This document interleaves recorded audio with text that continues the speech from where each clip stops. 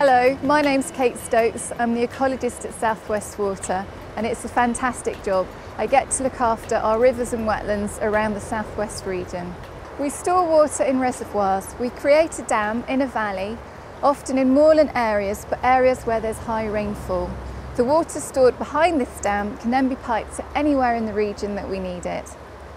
We have three key reservoirs in the West Country, one in Cornwall on Bodmin Moor, one in West Devon and one on the East Devon and West Somerset border up on Exmoor.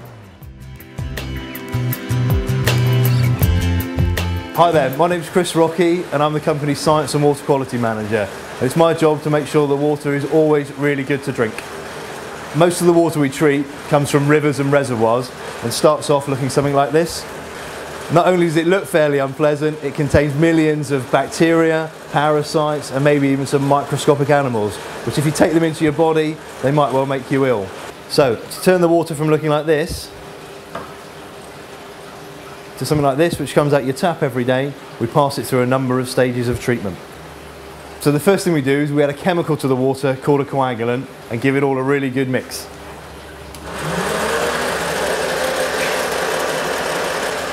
After a short period of time, all of the chemicals should have come in contact with all of the water and then we slow the mixing right down.